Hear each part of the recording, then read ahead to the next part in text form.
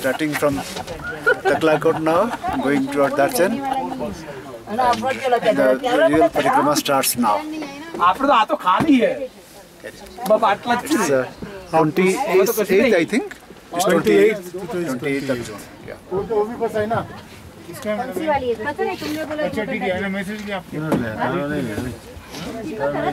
आपको हमारा सही लिया तो अरे बिल्कुल आपका तो पहले लिया मैडम का भी बाथरूम लगे सुनीता जी रखा है तुम्हारे कहाँ है